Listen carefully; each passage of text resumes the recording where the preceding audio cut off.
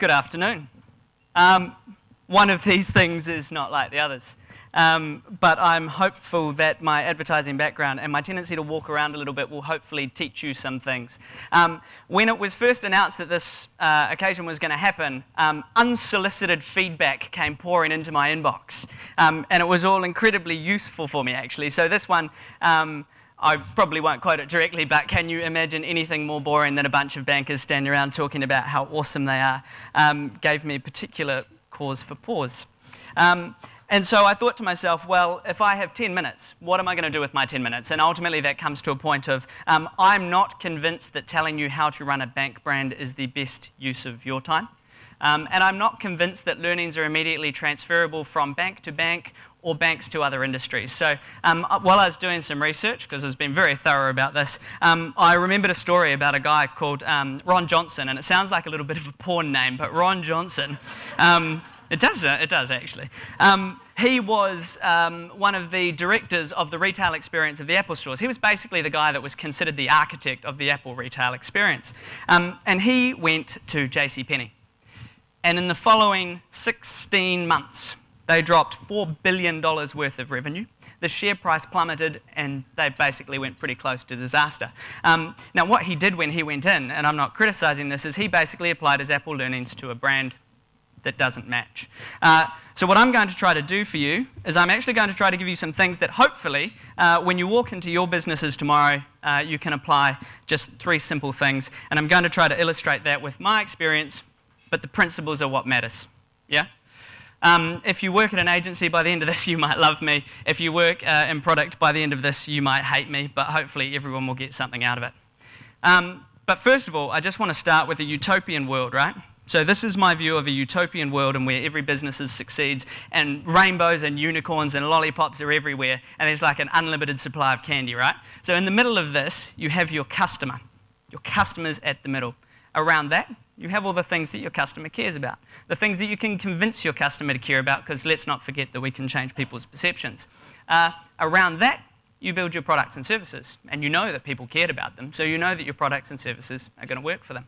Uh, my view of branding, my view of marketing and where that fits, is it's actually the thin veneer that sits around everything else that's fundamentally more important.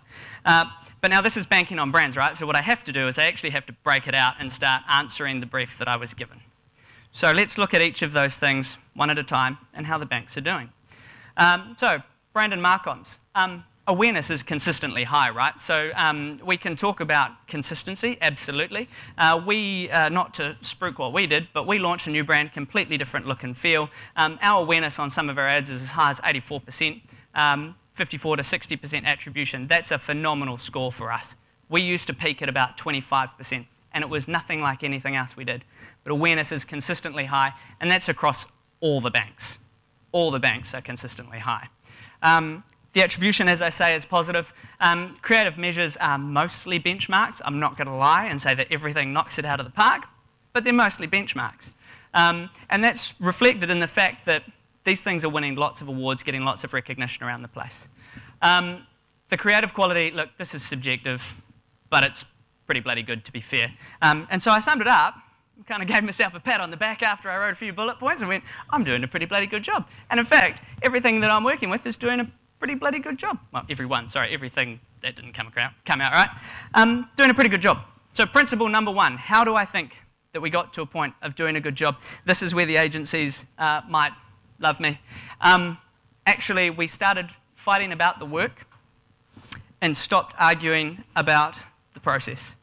So we try to have a discipline uh, at Westpac of we try to define the business problem incredibly clearly, we hand that to our agency, and we give them all the tools that they need to solve that problem for us, and we get out of the way as much as we can. We almost had a fist fight over flatties, by the way.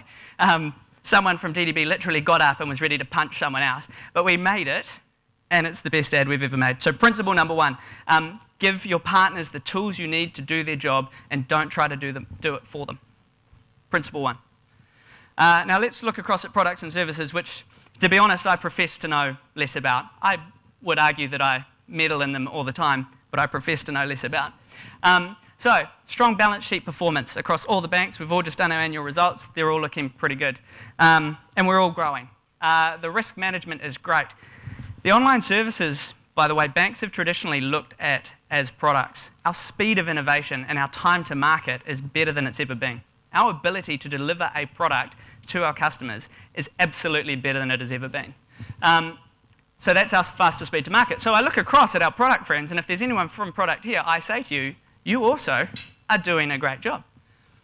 So this is brilliant, right? This is brilliant. But the challenge we've got is that I refer to it a little bit as innovation by multiplication. Now, innovation by multiplication is where you take one incredibly complex product that barely anybody understands, you combine it with another complex product that barely anybody understands, and you create something that nobody has a shit show and hell of understanding, let alone communicating. So, my second principle to deliver to you is even if you are designing something that you are going to give away free, you must ask the question of what would a customer pay for it.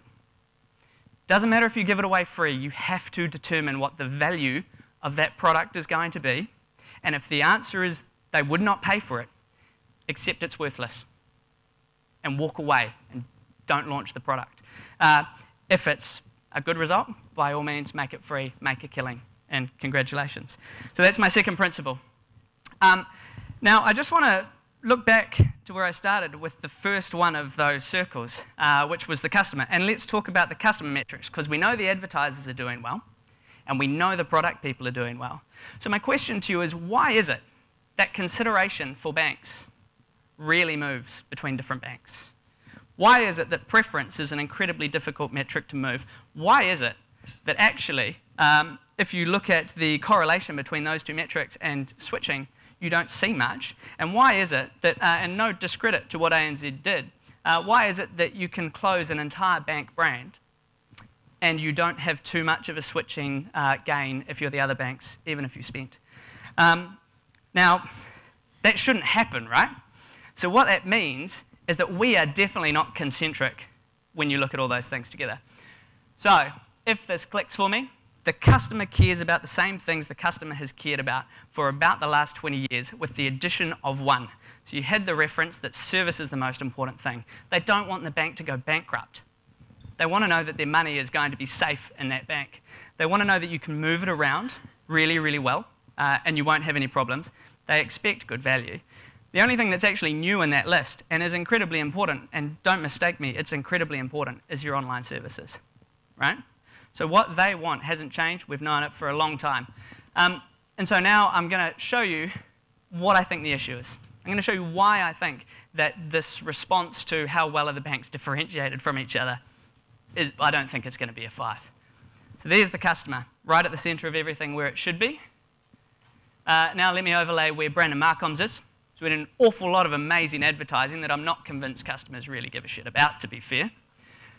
And then if I overlay products and services, um, I have a number of products, both from myself and competitors, where I know download rates on apps and they're not spectacular. Because we built it because we could, not because it really mattered to a customer, right? And so now, uh, am I all right for time? No, I've just got the wave. That's perfect. This thing times out at 8.35, but I thought it would take longer. Um, so we're all so busy being so spectacular that we've actually missed the fact that we're being spe spectacular in different directions and not the one direction that really matters, which is to the customer. So, the three principles. Use your partners as partners. If you're a marketer, not a copywriter, be a marketer, not a copywriter. Use your partners to the best effect. Principle one. Principle two. Assess the value of your new products and services to customers to determine whether it's worth progressing. Don't do things because you can, do things because they will be valuable to people. And the third one, which I haven't hit on yet, but this is the most important one, is everyone in this room tomorrow go in and be the voice of your customer. Be loud about it. So whoever's, uh, if you're not in marketing you're a junior marketer, go into the office tomorrow and if people tell you that you just process invoices and you just do the spreadsheet, tell them to bugger off. Be the voice of the customer and be loud about it. And the funny thing is, you will find that by rubbing a few people up the wrong way for the customer, you'll get promoted. And then, in your next role, when you're actually working with the agencies, it's true. I work in banking in a senior role, right? From rubbing people up the wrong way, I suspect. In your next role, when you're working with the agencies and you give them the tools that they need, and they come in and you love a script the first time you hear it, and the next day people aren't sure, as a customer, you loved it. right? So make sure you stick up for it in that next role. And you know what the funny thing is, is that sticking up for a customer in that next role will get promoted. And eventually, you will reach the top of your business. You may be a CEO, you may be a general manager, and you will have created an organization on your way that is fundamentally centered around the customer. And that is how you can build a, band, a brand that you can bank on. Thank you.